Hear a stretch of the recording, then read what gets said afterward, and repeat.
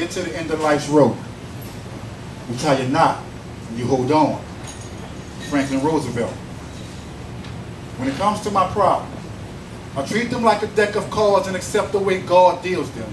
Sometimes I drink myself into a paralyzed state so I won't have to feel them. I've learned that time is like that cup of sugar my neighbor never returned, borrowed.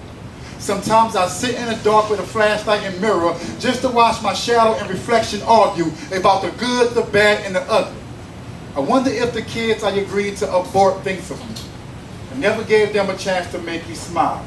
I pleaded the fifth when I should have took a stand at their murder trial, a problem that I have dealt with.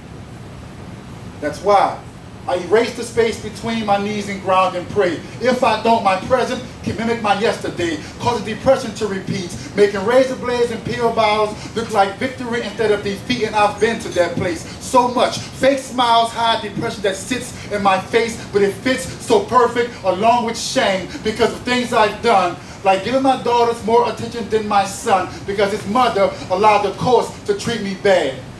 I guess that makes me part deadbeat, part great dad because my daughters gets my love while my son gets my cash, a problem that I have dealt with.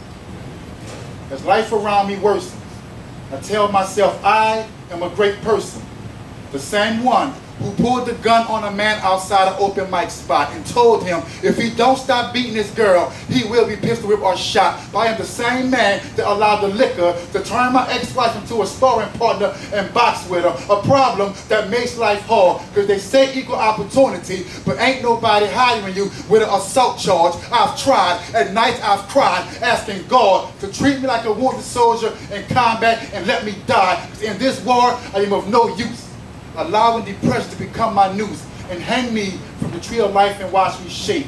The deadbeat wants me to give in, but the man, the father, wants the branch to break and use prayer as restoration and restore my faith. And I did. I told life and death to wait a minute. It's a hard fought battle, but I'm still in it. I still have a chance. It wasn't by the pale moonlight, but me and the devil danced a couple of times. And when it came to my ground, I held mine. Life's pain, I felt it. But I stand in front of you on this stage today a much better man because of the problems that me and God has and dealt with. Thank you.